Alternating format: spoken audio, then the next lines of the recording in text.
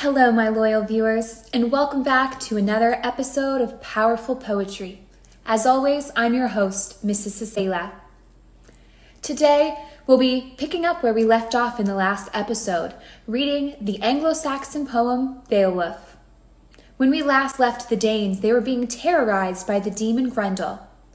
Today, we will meet our hero, Beowulf, and see what he does to come to the aid of the Danes. Will Beowulf persevere? Will Grendel kill them all? Will we ever stop having to wear masks? Most of these questions will be answered in this episode.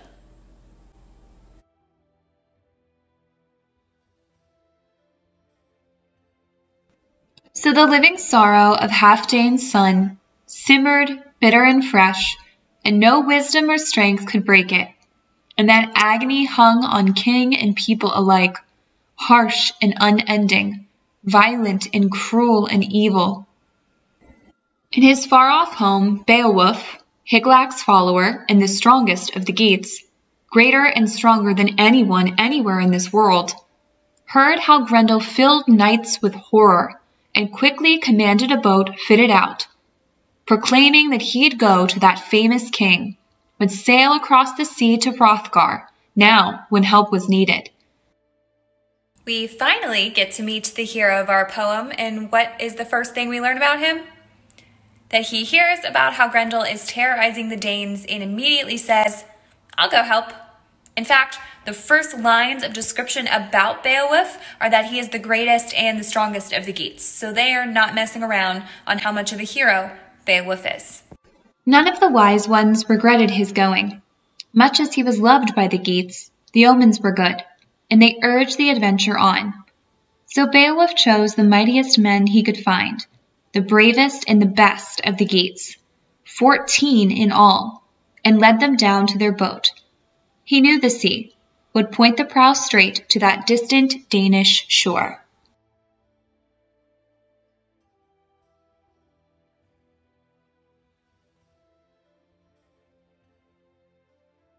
Then Wulfgar went to the door and addressed the waiting seafarers with soldiers' words.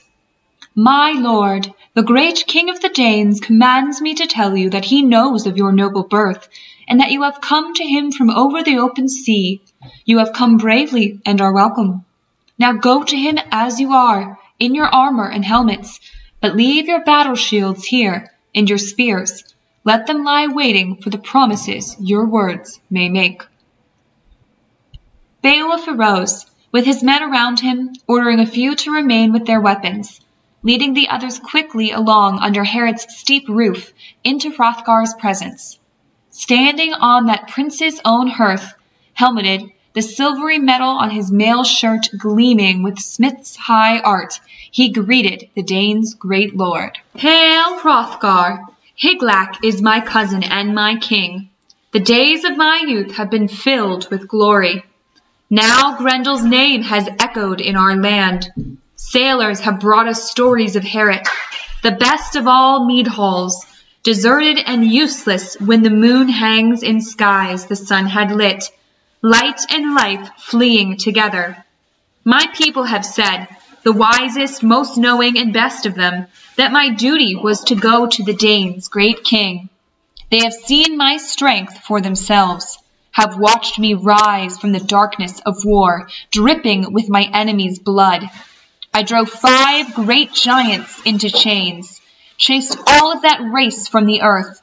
I swam in the blackness of night, hunting monsters out of the ocean and killing them one by one.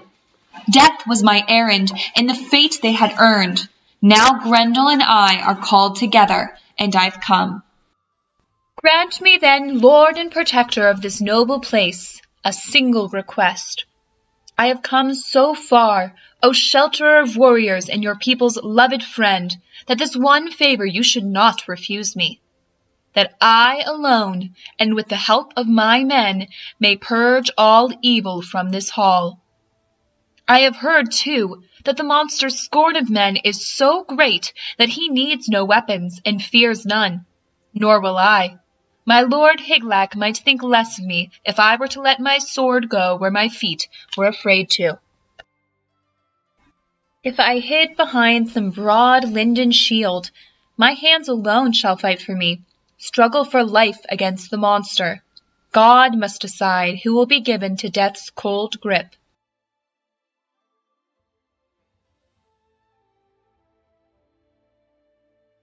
Finally, we can start to answer some questions. We can do the last two questions on that same page of your packet. So the first one asks us, what are our first impressions of Beowulf? Well, there are some things that aren't debatable. He's definitely strong. They call him the strongest uh, anywhere in the world. And he's definitely brave. But some of these things are open to your interpretation. Do you think the fact that he came to help the Danes is super selfless of him, shows his good ethics? Or were you getting a vibe that he was just looking to add something else to his resume, another monster to kill?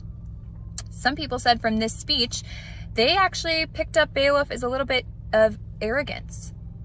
He was a little too confident, a little too cocky.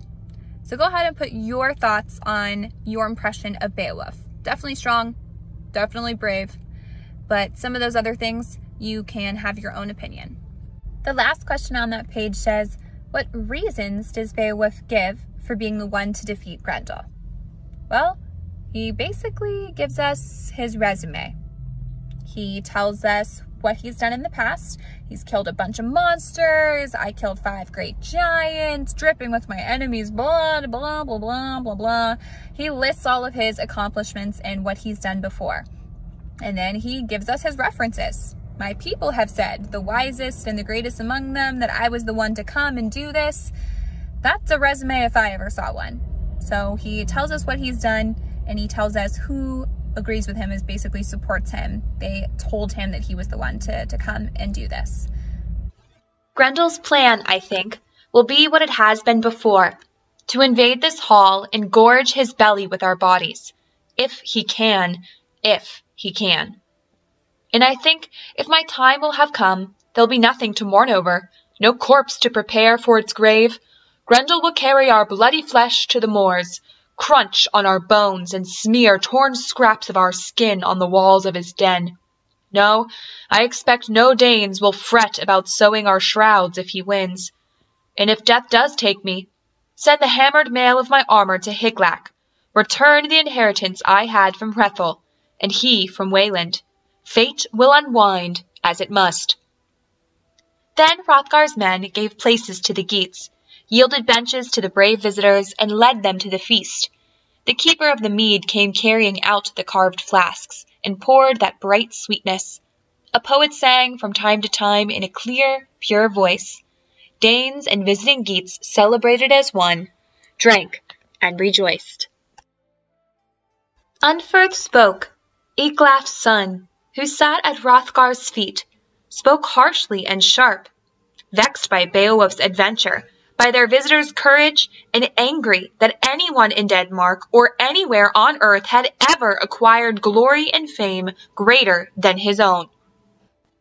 If you remember from the background info, Unferth is a Danish warrior who is very jealous of Beowulf for coming to do the job that he never could. Ladies, we remember the fragile male ego, so he is going to try to embarrass him. Can you figure out what he's saying? You're Beowulf, are you? The same boastful fool who fought a swimming match with Breca? Both of you daring and young and proud, exploring the deepest seas, risking your lives for no reason but the danger? All older and wiser heads warned you not to, but no one could check such pride. With Breca at your side, you swam along the sea paths, your swift moving hands pulling you over the ocean's face. Then winter churned through the water, the waves ran you as they willed, and you struggled seven long nights to survive. At the end, victory was his, not yours. The sea carried him close to his home, to southern Norway, near the land of the Brondings, where he ruled and was loved, where his treasure was piled and his strength protected his towns and his people. He'd promised to outswim you. Beanstan's son made that boast ring true. You've been lucky in your battles, Beowulf, but I think your luck may change if you challenge Grendel. Staying a whole night through in this hall, waiting where that fiercest of demons can find you. A mighty warrior who cannot even win a swimming match. Speaking only for myself here? Not only do I doubt that you will be able to stand for a moment against Grendel, I doubt that you will even have the belly to stay in the hall all night. You're right, y'all. We're all thinking it. Unferth's a real meanie. His entire purpose is to embarrass Beowulf. He's jealous that Beowulf has come to solve the problem that he never could, and so he brings up this true story trying to discredit him. But Beowulf is not about to let that sit by. Before we hear Beowulf's rebuttal to Unferth, let's answer some questions. Number one on the next page of reading question asks you, what function does Unferth serve in the poem? What is his purpose? Well, there are a couple of things that we can say. We know on the surface, as a definition, he is a Dane who is jealous of Beowulf. We also know that he is trying to discredit or embarrass him. And in a literary sense, we can say he is the human antagonist or the human foil, which means the opposite of Beowulf. He is a selfish coward. We can also answer the first part of the second question. It asks how Beowulf's version of the story is different from Unferth's. We haven't heard Beowulf's side, but we know what Unferth said. Unferth's version of the story is this. You stupidly challenged your friend Breca to a swimming race across the ocean, and you lost. You're not as great as you think you are, and your luck is about to run out. And we'll hear what Beowulf says in reply.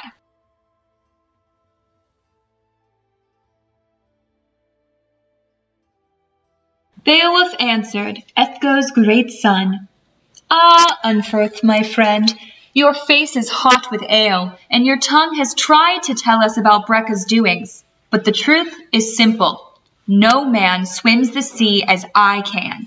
No strength is a match for mine.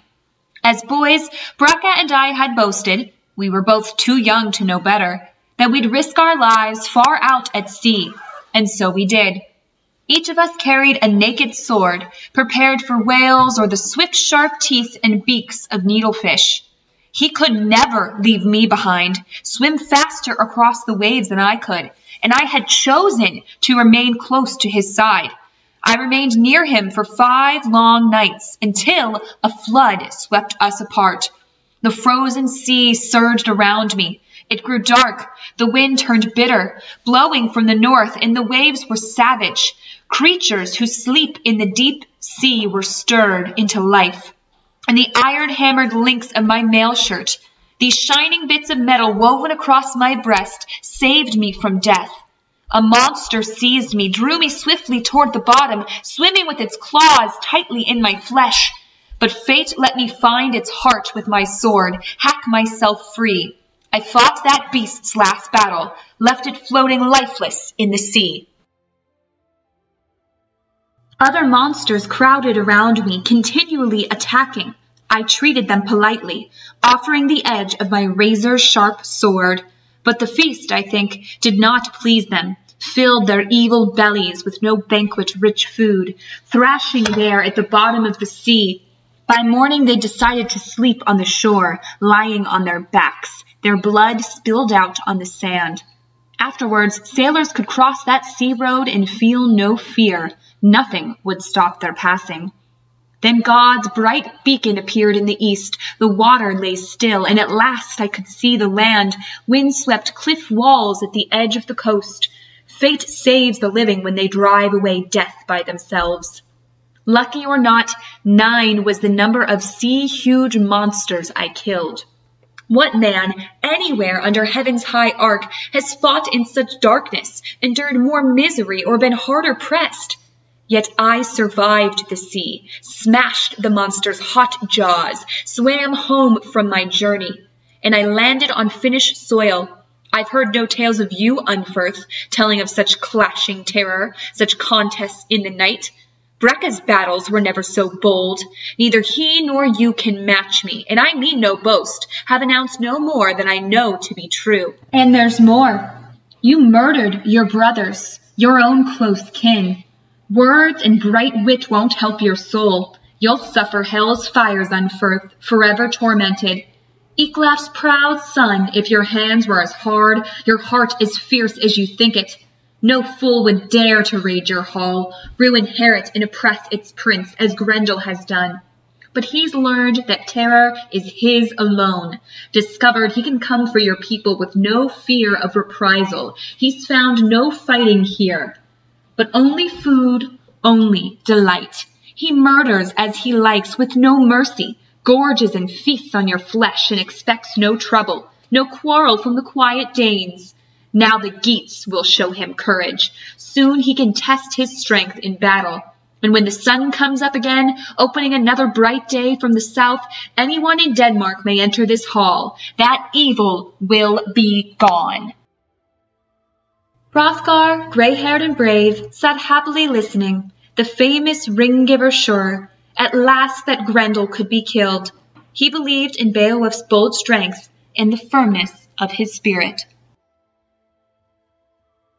Well, my loyal viewers, that's all for this week's episode of Powerful Poetry.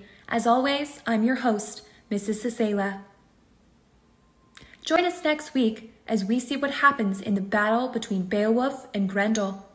Stay tuned for a final message from our sponsors. New split-second vehicles! A train is on fire and it's gonna crash! Split up, double up, save the world! Put out the fire! Cool! Clear the path! We did it! Little heroes, Big rescue! two vehicles in one! New Paw Patrol split-second vehicles, each sold separately.